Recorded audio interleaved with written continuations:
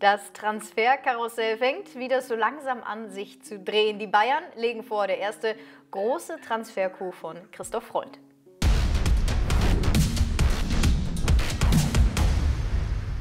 Der FCB holt Brian Zaragoza. Was bedeutet die Verpflichtung des Außenstürmers für die Offensivkräfte der Bayern? Außerdem, ein Ex-Nationalspieler könnte aus der Bundesliga fliehen und ein Ex-Wunderkind in die Bundesliga zurückkehren. Die neuesten Updates der Top-Teams der Bundesliga heute in der neuen Folge der Transfermarkt-Show.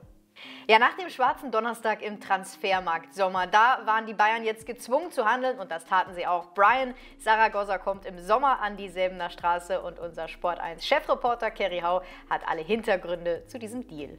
Ja, es ist der klassische Überraschungstransfer, mit dem niemand rechnet und äh, eigentlich untypisch für den FC Bayern, denn wenn man mal zurückblickt auf den Transfersommer mit dieser wahnsinnigen Saga rund um Harry Kane oder auch Joao Palina, der am Ende nicht gekommen ist, dann muss man schon sagen, also das ging wirklich leise, still und heimlich im Hintergrund, was vor allem zwei Gründe hatte. Zum einen, der Spieler, der war sich sofort klar und die Vereine waren sich auch sofort klar. Also alle Beteiligten haben da schnell und zügig an einer Lösung gearbeitet.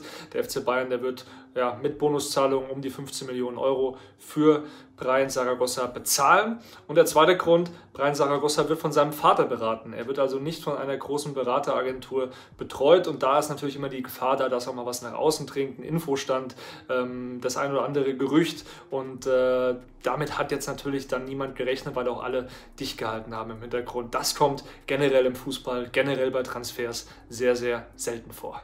Es ist schon ein typischer Christoph Freund-Transfer, das muss man ganz klar festhalten. Er kam ja mit der Vision und mit dem Auftrag aus Salzburg nach München, äh, Spieler zu verpflichten, die jetzt nicht jeder auf dem Schirm hat, vor allem nicht die absoluten Top-Clubs, also junge, entwicklungsfähige Spieler, die aber schon auf diesem ganz hohen Niveau aktuell überzeugen. Also Freunds erstes großes Ding. Vertrag hat er bis 2029 und zum Spielertyp Brian Saragossa, da haben wir ja gestern bereits ein Video gemacht, findet ihr hier, könnt ihr euch reinklicken. Der Spanier der soll den Konkurrenzkampf auf den Außenbahnen beleben bei den Bayern. Und da sind ja mit Gnabry, Musiala, Sané, Tell und Coman schon fünf Spieler mit am Start.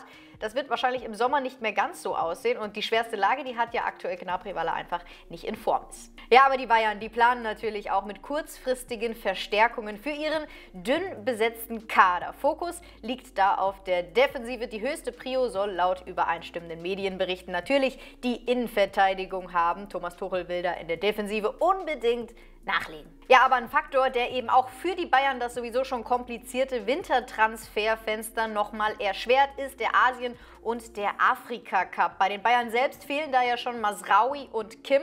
Ja, und das ist natürlich bei vielen Top-Teams ebenso der Fall. Die Münchner haben wohl ein Auge auf Mukiele von PSG geworfen. Der kommt da nicht so richtig zum Zug, aber vor ihm, da steht Ashraf Hakimi und der ist eben mit seinem Land beim Afrika Cup vertreten. Heißt, Mukiele muss ihn eben in diesem Zeitraum ersetzen. Das wird wohl nichts mit diesem Transfer. Ja, gleiches Spiel bei Leihspieler Stanisic. Der ist ja im Sommer von den Bayern zu Leverkusen verliehen worden, aber da so absolut gar nicht glücklich mit seiner Reservistenrolle. Muss sich hinten anstellen, hinter Kosunu. Und der ist ja beim Afrika Cup vertreten mit der Elfenbeinküste. Und der Werkself, der wird noch ein weiterer Innenverteidiger fehlen. Auch Tapsoba ist mit Burkina Faso da am Start. Ja, besser könnte es für die Bayern in Spanien laufen. Anao Martinez, auf den haben sie ein Auge geworfen. 20 Jahre ist er jung, Innenverteidiger, kann aber auch rechts spielen und spielt aktuell beim FC Girona, dem Überraschungsteam in La Liga, stehen aktuell auf Tabellenplatz 2. Sein Vertrag, der läuft noch bis 2025. Laut übereinstimmenden Medienberichten kann der sich aber auch sehr gut eine Rückkehr zum FC Barcelona vorstellen. Für den Verein war er in der Jugend mal aktiv gewesen und auch bei Bayer Leverkusen, da soll er auf dem Zettel stehen. Er wäre so ein klassischer Christoph Freund-Transfer. Jung, entwicklungsfähig und mit ganz viel Potenzial. Laut Sportbild sind die Bayern aber auch an Clément Longley interessiert. 28 Jahre ist er alt, aktuell ausgeliehen vom FC Barcelona in die Premier League an Aston Villa und hat bisher kein einziges Premier League-Spiel bestritten. Also auch absolut gar nicht zufrieden mit seiner Rolle, die er da spielt. Der könnte ein Backup-Innenverteidiger sein, hat 50 Einsätze in der Champions League, bringt also eine Menge Erfahrung mit. Laut TZ gibt es aber von den Bayern auch Interesse an Jeremy Frimpong von Bayer Leverkusen. Der wäre allerdings nicht im Winter verfügbar, wäre also dann, wenn überhaupt, erst was in Richtung Sommer. Und Holding Six natürlich auch immer ein riesengroßes Thema beim FC Bayern. Da wäre man aber auch zufrieden, sich erst im Sommer so ein bisschen neu aufzustellen. Da ist der Druck jetzt nicht ganz so enorm. Und da hat man aktuell nicht mehr Palinja im Fokus, sondern Martin Subimendi von Real Sociedad. Der hat eine Ausstiegsklausel und die würde bei 60 Millionen Euro im Sommer liegen. Ja, und was macht eigentlich der BVB? Bitteres Pokal aus und schon 10 Punkte hinten dran im Meisterschaftsrennen und das noch vor der Winterpause. Aber die Dortmunder, die planen jetzt offenbar einen ganz spektakulären Coup. Kehrt der verlorene Sohn, kehrt Jadon Sancho tatsächlich zurück zum BVB.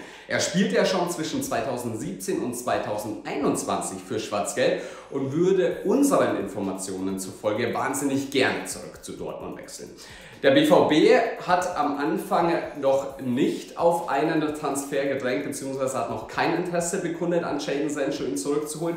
Allerdings kommt jetzt ein bisschen Bewegung ins Spiel, weil Daniel Mahlen auch gerne wechseln würde, hat die Berateragentur gewechselt, ist beim BVB unzufrieden. Unser Lieblingsziel wäre demnach auch England und die Premier League. Also vielleicht bahnt sich da auch schon im Winter ein spektakuläres Tauschgeschäft an.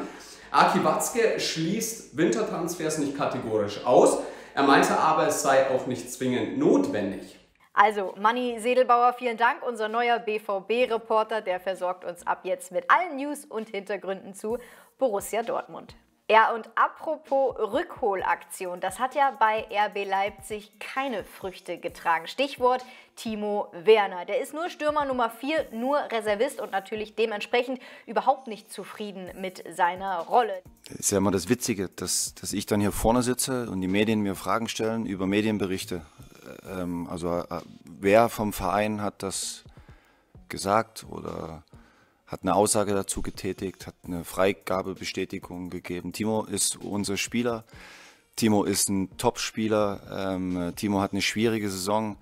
Timo wird wertgeschätzt im Kader, wird wertgeschätzt vom, äh, vom Trainerteam, wird wertgeschätzt vom Verein. Aber es gab niemanden vom Verein, der in irgendeiner Form äh, über, über einen Wechsel, über eine Freigabe oder derartiges ähm, gesprochen hat. Ja, und Zuwachs wollen die Sachsen aber auch noch im Winter. Laut Trainer Marco Rose suchen sie jemand für die Außenbahn, so einen richtigen 1 gegen 1 Spieler für die Flügel.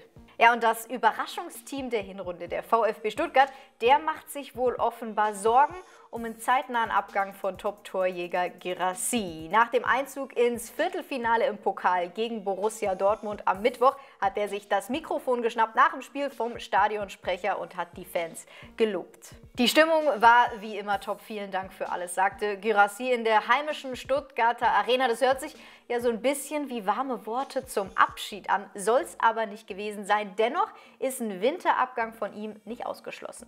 Ja, denn jede Menge Premier League-Teams, die sollen heiß auf ihn sein. Manchester United, Newcastle und zuletzt gab es auch Gerüchte um ein Interesse von West Ham. Aber auch in Italien, da hat man schon Auge auf ihn geworfen. Die AS Rom und der AC Mailand sollen Interesse bekundet haben, laut Bild. Ja, und er selbst kann sich laut des Blatts einen Wechsel im Winter auch bereits vorstellen. Sein großer Traum, das ist die Premier League. Der 27-Jährige, der spielt ja aktuell in Stuttgart die Saison seines Lebens. Wettbewerbsübergreifend 18 Tore in 13 Spielen, ja, und dank einer Ausstiegsklausel von 17,5 Millionen Euro kann er die Stuttgarter auch schon in der kommenden Transferperiode verlassen. So, was meint ihr? Welchen Bundesliga-Transfer wünscht ihr euch für diesen Winter? Welche Spieler sollte euren Verein verlassen? Welchen Wechsel, welchen Neuzugang wünscht ihr euch für euer Team? Schreibt es mal rein in die Kommentare. Das war's für heute von der Transfermarkt Show. Ich wünsche euch ein schönes Wochenende. Bis zum nächsten Mal. Ciao.